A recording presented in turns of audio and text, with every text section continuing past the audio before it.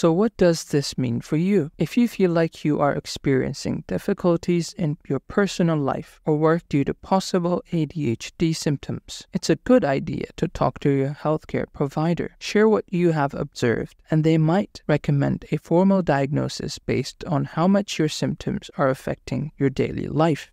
Thank you for watching. Please like, comment, and subscribe. Watch more videos by clicking on the video here.